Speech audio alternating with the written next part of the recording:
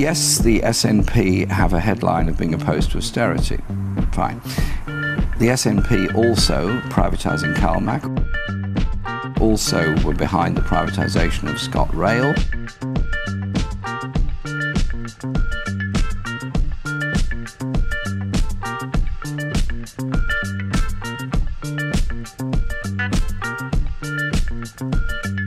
Also privatising services.